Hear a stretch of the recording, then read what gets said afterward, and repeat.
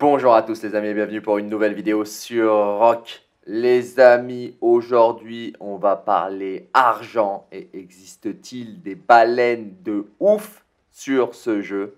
Mais avant cela les amis, comme d'habitude, si ce n'est pas encore fait, je vous invite à vous abonner à la chaîne en cliquant sur la cloche pour être informé de toutes nouvelles vidéos et n'en rater aucune. Et surtout les amis, n'hésitez pas également à nous rejoindre sur le Discord de la chaîne. Il n'y a pas plus simple, vous le savez, c'est le premier lien en description de toutes les vidéos. Et vous l'avez aussi à droite sur l'overlay. Les amis, avant de parler argent, parlons Even comme d'habitude. Qu'est-ce qu'il y a Pop? Eh bien, rien de spécial. On va avoir la route de la soie dès demain sur une très grande majorité des serveurs. J'ai regardé sur mon compte sur le 1002, il n'y a pas encore d'event particulier annoncé. Il n'y a pas de patch annoncé, même si je vous ai dit qu'on devrait avoir une annonce sous peu. Toujours la roue de la chance. La roue de la chance, c'est le dernier jour. Il ne reste plus que 17h, 14 minutes et 23 secondes. Voilà, il ne voulait pas y passer. Vous voyez, ça saute même les secondes. 19 secondes, 20 secondes. Non, il ne sait même pas ce qu'il veut faire.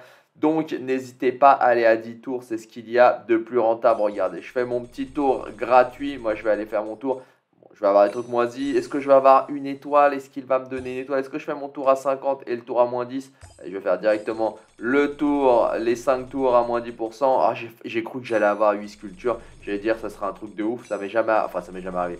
Ça m'est pas arrivé depuis tellement longtemps. Une sculpture générique, je me plains pas. Une, en général, c'est mon tarif. Hein. Deux sculptures, j'ai jamais plus. Voilà, c'est bien tout naze. On est bien content. Allez, je prends mon petit tour au cas où il veut me donner pour 400 une autre sculpture. Non, il va me donner des étoiles. Voilà, c'était obligé. C'était pour, me punir. Fallait pas faire ce tour en plus. Et je prends mes 5 sculptures en plus. La taverne légendaire, comme d'hab, le petit tour gratuit, on en profite en 3 jours, 17 h 13 minutes et 28 secondes. Donc il faut vraiment en profiter avant la fin du KVK et rien de particulier d'autre là-dessus. Pas d'ouverture de coffre, rien à voir pour le moment. Mon KVK se finit, comme vous le savez, dans très bientôt. Hein. Là, on est vraiment sur la fin, 17h, 13 minutes et 12 secondes, ce qui va pouvoir nous permettre de nous préparer pour la suite.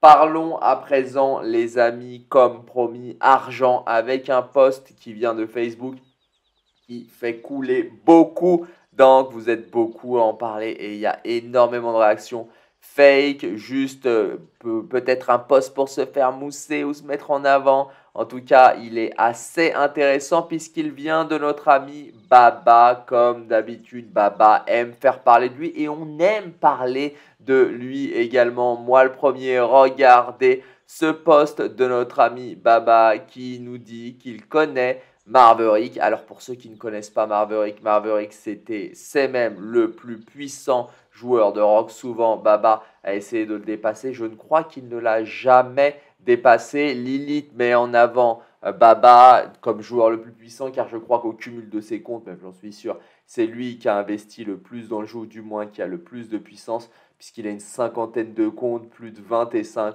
Bref, quelque chose d'assez énormissime et il dit que Marverick, ce joueur, est un, compte de développeur, un compte de développeur, donc ce n'est pas un vrai joueur. Il l'a déjà dit à plusieurs reprises, dans plusieurs posts, même des vidéos, Baba.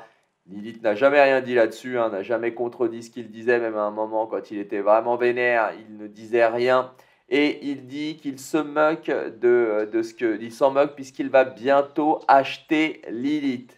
Baba annonce qu'il va bientôt acheter Lilith, alors pour ceux qui ne connaissent pas Baba, Baba est un multimillionnaire, il est refait, il a investi plus d'un million ou un million et demi, maintenant largement plus, il doit peut-être mettre même à 2 millions dans le jeu de dollars, hein, donc il n'a pas de souci, d'origine turque, il vit en Allemagne si je dis pas de bêtises, voilà pour sa petite bio. Il est refait, c'est sûr, hein, il est à la tête, je crois, d'une chaîne de cosmétiques, de salon de cosmétiques, donc il n'y a pas de souci pour lui. En revanche, acheter Lilith, c'est une autre histoire. Pourquoi? Déjà, regardez cette petite info que je vous ai ramenée parce que Lilith, est-ce que Lilith sont refaits? Regardons les revenus de Lilith en 2020, mais uniquement sur AFK Arena, qui est leur jeu historique qui leur drainait le plus de revenus. Lilith, en 2020, donc on aura bientôt les chiffres 2021, a généré 1,45 milliard de dollars de revenus avec AFK Arena. Donc déjà, en revenus, ils sont à 1 milliard et demi pratiquement avec AFK Arena, qui est le, jeu, leur, vraiment celui qui leur ramène énormément d'argent car il est bien stabilisé. Mais je crois qu'à ce jour, le jeu le plus rentable de Lilith est Rock. Rock ramène ramenait déjà l'année dernière entre, euh, entre 100 et 200 millions de dollars par mois à Lilith.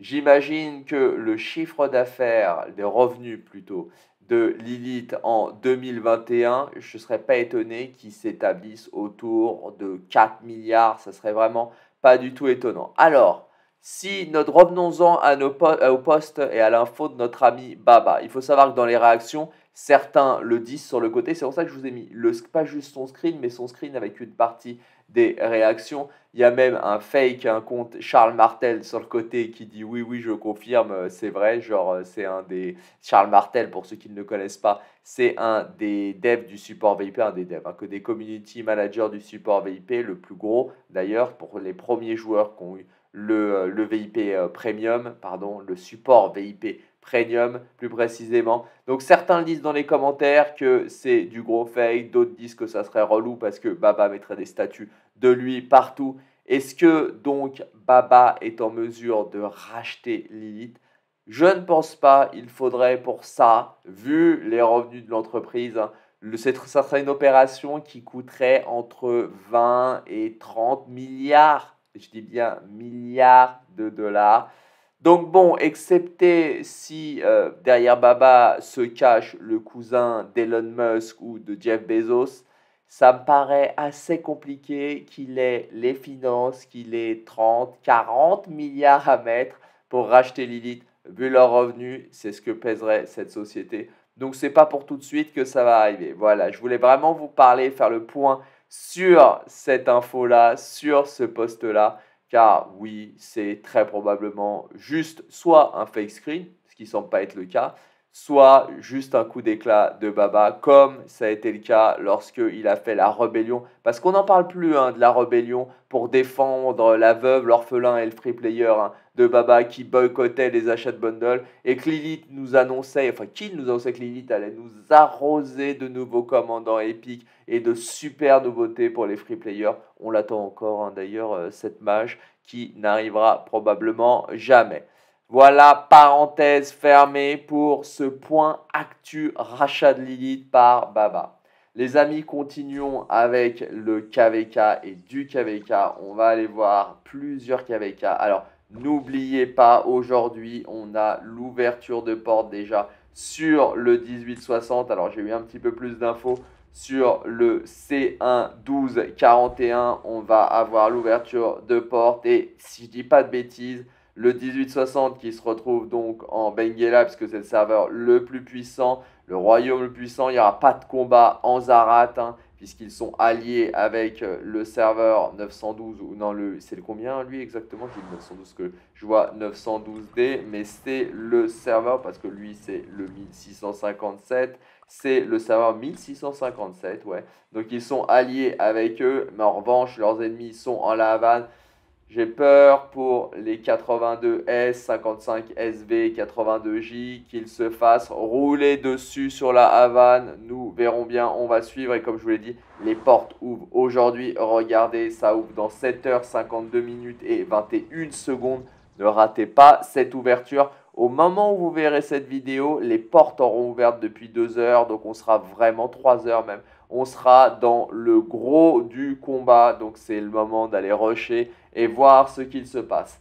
Mais il y a d'autres KVK qu'on suit. N'oubliez pas, on se demande toujours qui va avoir la Ziggurat sur le C1 1210. Elle, est, elle est toujours euh, protégée, la Ziggurat, donc on va pas le savoir tout de suite. On devrait le savoir ce week-end, hein, normalement. Ça devrait être samedi ou dimanche qu'elle va être libre et prenable. On va bien voir qui va l'avoir. Sinon, dans les KVK à suivre, il y en a certains où les royaumes impériums sont en théorie plutôt détentes. On va s'intéresser au C1 1235. Alors, c'est pas un marche des âges parce que le marche des âges, rappelez-vous, ils l'ont sorti, ils en ont fait deux, ils ont fait on a trop de bugs, les amis. Donc, on va sur le C1 1235. On n'en a jamais parlé, on va y faire un tour. il est à 22 jours, 6 heures, 54 minutes et 24 secondes. Et regardez, on n'a que le 2001 qui est le seul royaume impérium en vert en bas à droite. Ce qui est étonnant, à 22 jours, il est probable que d'autres ont perdu leur statut, mais en bas à droite, il ne l'est pas perdu, car le 1649 sur un lutte D8 aurait dû être le plus puissant, donc Imperium, suivi par, normalement en haut à droite, le 2152. On va aller voir tout de suite les puissances et ce qui s'est passé sur ce royaume. Je vous le rappelle, en lutte des 8, pour ceux qui ne le savent pas encore, c'est classique. Dans les quatre coins, on a les quatre royaumes les plus puissants. Donc regardons les coalitions. Celle-là est à 21, 30, 35, 36 milliards, cette coalition sur le haut en haut à gauche. Sur le haut en haut à gauche, ça veut rien dire. Kevin. Ensuite, la deuxième, celle-là est normalement la cinquième plus puissante. Alors c'est plutôt ici. La cinquième plus puissante, donc elle devrait être au max à 30 milliards, sauf si c'est vraiment équilibré. Regardons les One hein, qui avaient fait, One Nation qui avait fait un beau, alors c'est la coalition que je veux, qui avait fait un beau Osiris, 22, 27, ils sont même pas à 30. Donc j'ai bien raison. Donc on a 35 en haut à droite, en haut à gauche. J'ai du mal avec la gauche et la droite ce matin.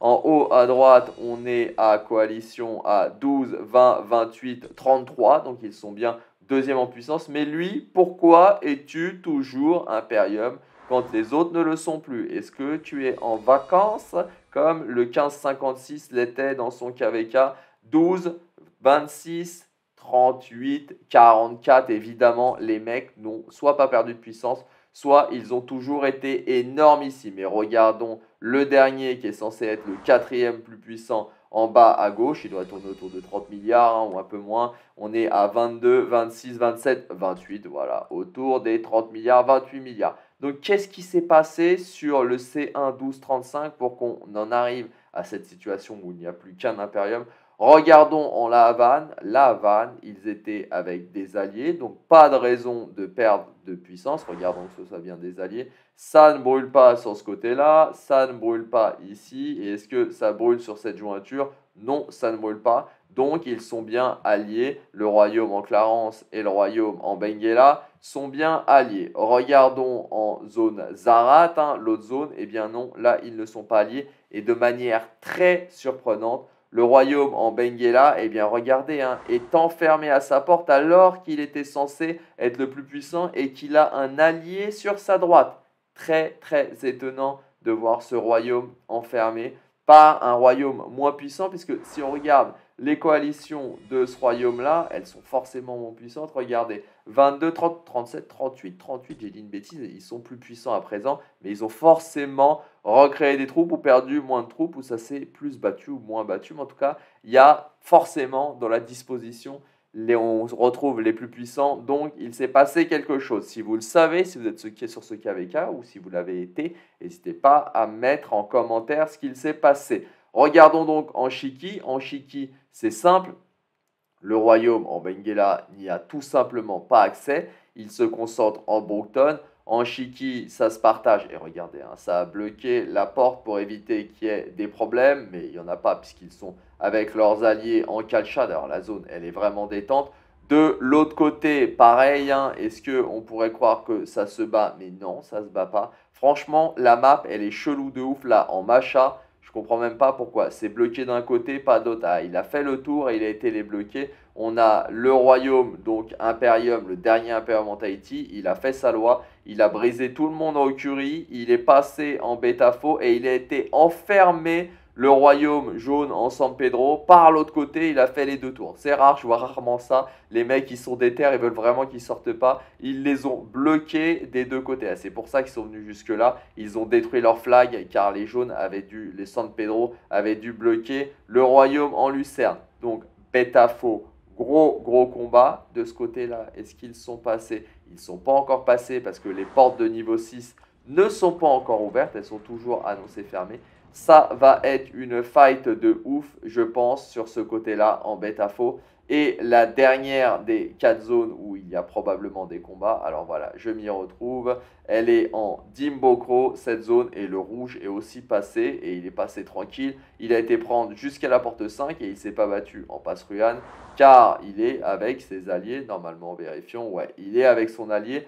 Donc ça va être très tendu. En Terre du Roi, je pense, ce KVK, il est plutôt simple à lire. Hein. Je pense qu'en Terre du Roi, on va se retrouver avec le rouge, donc le seul Imperium qui va prendre la ziggurat. Puisque regardez, les mecs, ils sont partout. Ils ont deux zones, ils sont étalés vraiment, vraiment partout. Hein. C'est assez impressionnant. On va voir comment ça se passe. Même leurs alliés, les bleus, sont. Et là, est-ce qu'il y a de la fight? Parce qu'il y a beaucoup de forteresses sur ce côté-là. Ah, ça a brûlé quand même sur ce côté-là. On voit une forteresse brûlé, elle ne brûle plus, mais il, reste du combat hein, quand même ici. Je pensais qu'il n'y en avait plus, mais non, il reste du combat sur cette zone. On va voir combien de temps, mais un KVK très intéressant, le C1235 à suivre dès qu'il y aura l'ouverture des portes annoncées. Je ne manquerai pas de vous en faire un retour. Pourquoi suivre ce KVK Car à mon avis, ce royaume-là, le dernier euh, qui est Imperium, du coup, sur le C1 1235, on y retourne, saison de conquête, l'UD8, C1 1235, on le retrouve ici.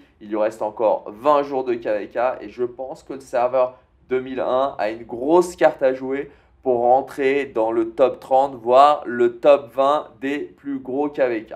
Pour finir les amis, un tour rapide sur les KVK saison 1. Je vous en montre régulièrement. Certains arrivent à leur fin, d'autres n'y sont pas encore. Hein. On en a déjà parlé. Je vous ai parlé du S1 1047 hier. Aujourd'hui, hier ou avant-hier, on va parler du S1 1046 qui lui est à 19 jours, 15 heures, 0 minutes et 59 secondes, donc une minute à présent avec un placement qui est bien évidemment lié au continent. Donc on peut se retrouver avec des très gros royaumes comme des très petits. Et il n'y a pas de placement à la puissance. Donc forcément, on peut se retrouver très mal entouré. On le voit en Benguela, le royaume bleu s'est fait enfermer par le royaume Sian. Le royaume Sian, très puissant, il est sorti au nord. Au sud, il a son allié, le vert pareil. Hein. Au nord, il est avec son allié. Au sud, en Macha, il a bloqué le jaune. Donc déjà, le cyan et le vert sont à mon avis ceux qui vont, gagner. Le rouge et le jaune n'ont qu'une zone pour deux. Le rose en Dimbroco fait sa loi au sud et au nord. Hein. donc très costaud.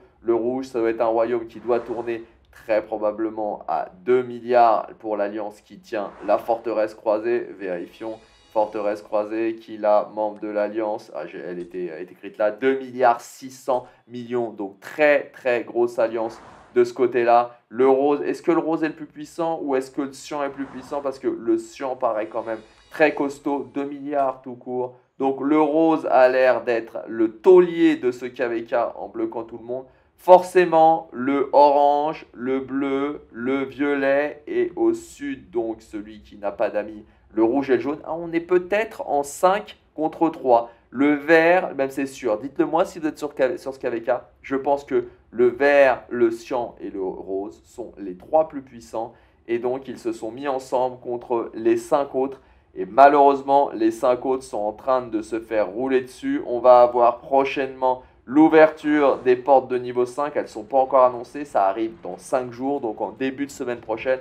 On va voir, on va avoir une grosse zone de combat. Donc forcément, alors pas en bêta faux, puisque le vert risque d'un peu les démonter, mais la plus grosse zone de combat, pas en passurade non plus, devrait être de l'autre côté, en Shiki peut-être, ou en Brookton, on va voir. Ah remarque, non, parce qu'en Brookton, ils sont que avec des alliés, donc non, ça va être protégé là. En Shiki aussi, ça va être protégé, je vérifie. En Shiki, ça va être protégé, donc non, ça sera en bêta faux qui va avoir des combats, mais les verts risquent normalement de rouler sur les rouges et les jaunes, et on aura du vrai combat que quand on aura l'ouverture des portes de niveau 6 et les terres du roi. Je parie, on retournera voir sur une victoire, enfin sur une ziggurat, hein, par les roses qui semblent vraiment être les plus puissants de ce KVK. Un royaume à suivre, donc les roses, les roses, le royaume membre de l'Alliance, le royaume numéro 2412. Un royaume qui a du potentiel à mon avis, vu son premier KVK et vu déjà les premières puissances affichées. Voilà, écoutez les amis, c'est tout pour cette vidéo. J'espère qu'elle vous aura plu. Si c'est le cas les amis, comme d'habitude, n'hésitez pas à lâcher un colossal pouce bleu. Vous le savez les amis, ça aide énormément le développement de la chaîne et surtout ça me fait vraiment très plaisir les amis. Si ce n'est pas encore fait, qu'attendez-vous Qu'attendez-vous pour vous abonner à la chaîne en cliquant sur la cloche pour être informé de toutes nouvelles vidéos. Je vous souhaite un bon jeu à tous, prenez soin de vous, faites bien attention à vous les amis et je vous dis à plus sur Rock.